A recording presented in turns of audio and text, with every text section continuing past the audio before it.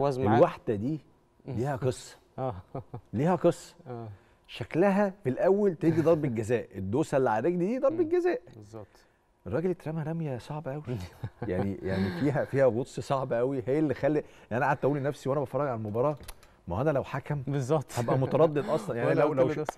لو قلت له كده صح؟ آه بالظبط. قلت له إيه بقى. أنا قلت له لو الح... أنا لو من الحكم عندك هاجي اديك قلمين مش هديك جزاء.